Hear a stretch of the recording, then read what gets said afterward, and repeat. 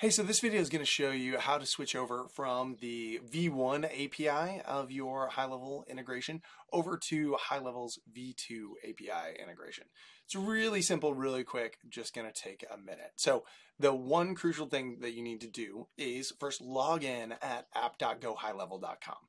Yes, you might have a white label domain that you typically log into, but in order to set up this integration, you will need to be logged into app.gohighlevel.com. So go to that URL, log in, and then come back over here. You can see that currently this account is on V1, has this old HighLevel uh, integration with the checkmark. All you need to do is come to integrations and click connect now on your HighLevel V2.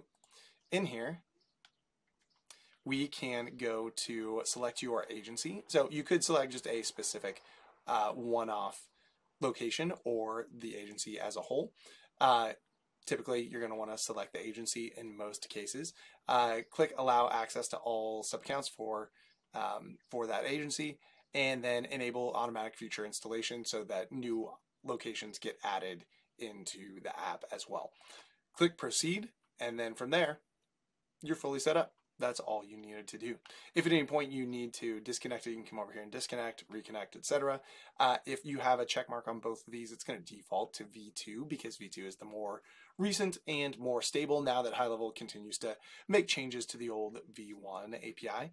And you're going to see all your locations populate and the locations and FAQs.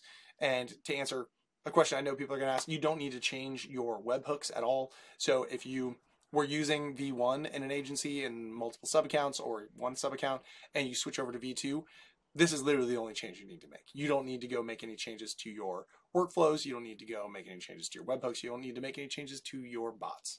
Uh, this just changes the type of integration and uh, even carries over all of your FAQs as well.